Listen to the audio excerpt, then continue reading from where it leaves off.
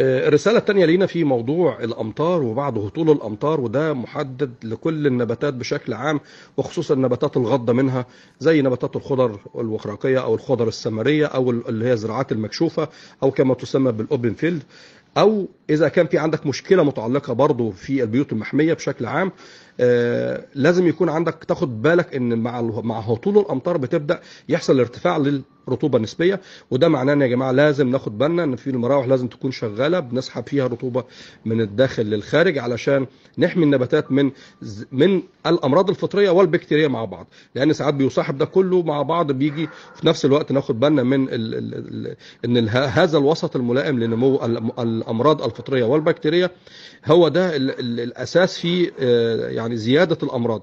وبالتالي لازم إن إحنا نخلي بالنا من موضوع الرطوبة النسبيه ونبدأ نسحب الرطوبة من الداخل ونطلعها للخارج ولازم نرش نباتاتنا بالمبيدات الفطرية التي تعمل على عدم وجود وسط ملائم لنمو الأمراض الفطرية والبكتيرية.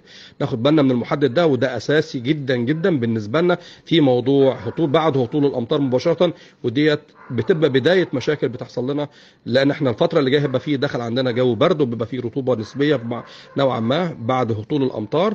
وبالتالي بتبدأ تنشط معانا فطريات البياض الدقيقي وأيضا ال Botrytis أو كما يسمى العفن الرمادي وأيضا بعض الأمراض الفطرية والبكتيرية الأخرى. ناخد بالنا من ده ونرش مركبات فطرية تعمل على مكافحة والوقاية من الأمراض الفطرية والبكتيرية. وطبعا من ضمن الحاجات المهمة في ده استخدام مركبات السايديازول أو كما يسمى النحاس العضوي.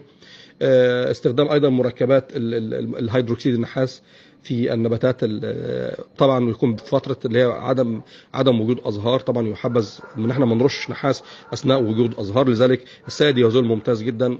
جلوكونات النحاس ممتازة جدا. أو مركبات الميتالاكسيل أو المانكوزيب أو أي حاجة تكون ممكن تبقى جهازية أو غير جهازية المهم إنها تبقى مركب أو مبيد فطري ملائم